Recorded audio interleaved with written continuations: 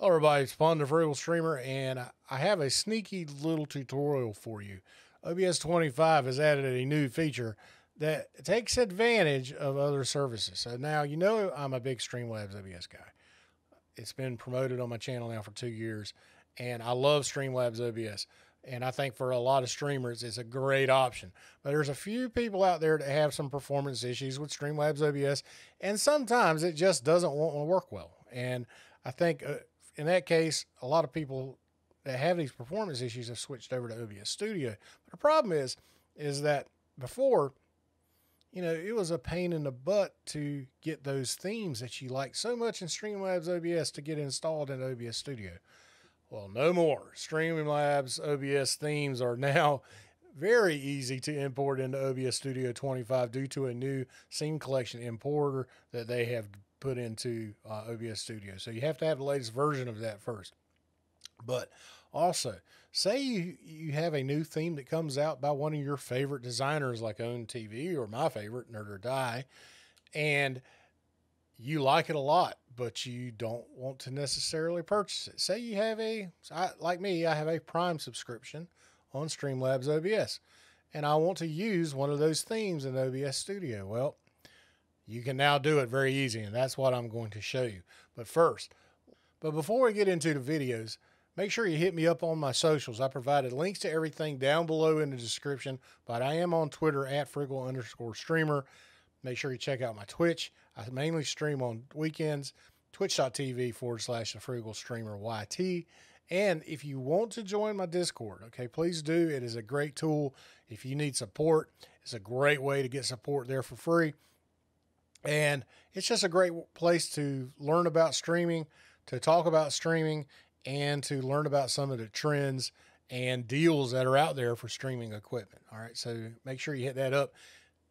Look in my channel banner at the top. Again, all the links are up there too, including Discord. You can check me out there. So let's go ahead and get into the video.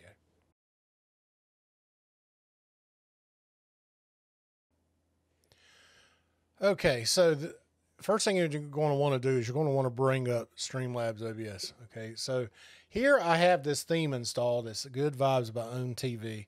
And what you'll need to do is, is you can go to their themes library by clicking on this icon here.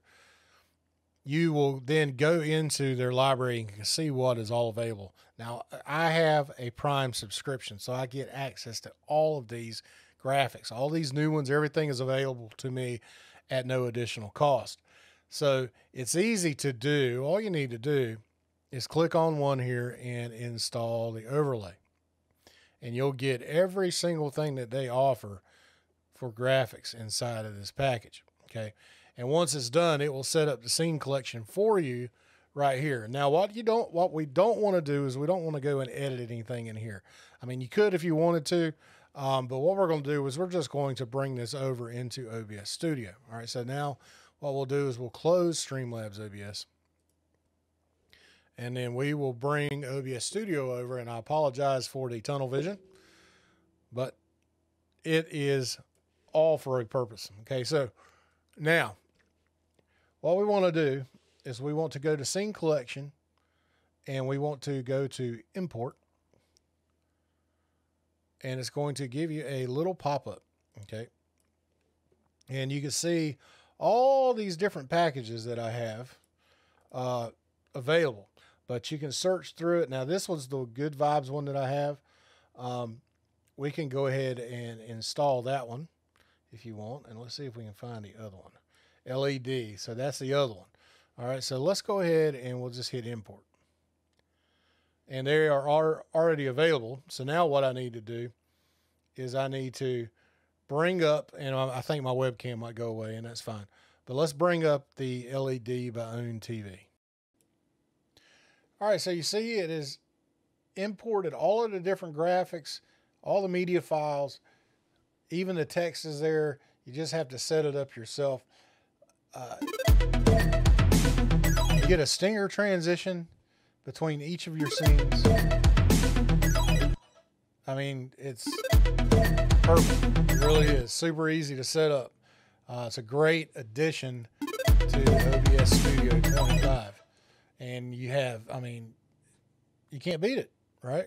and it's kind of dirty, I think. But hey, whatever. Super easy, super simple. It's kind of kind of sneaky, and I don't know how long this will be available. I imagine Streamlabs OBS will figure out some way to block it. Uh, but then again, maybe they won't. I don't know. I mean, like for me, I'm already paying for them anyway, so what do they care, right? But if you you know if you're using their free stuff, uh, I can see where that be- can become an issue. But regardless, there's a lot of people that want to try OBS Studio that have been on Streamlabs OBS and want a little bit better performance and want a bit, a little bit more control to their stream. And this is a way to get your themes over to Stream or over to OBS Studio without a lot of hassle. Okay, guys. So I hope you enjoyed the tutorial. Thanks a lot for watching. Again, make sure you check me out on my socials. Descriptions down below. All right, guys. Thank you very much. Have a great week, and we'll see you later. Bye bye.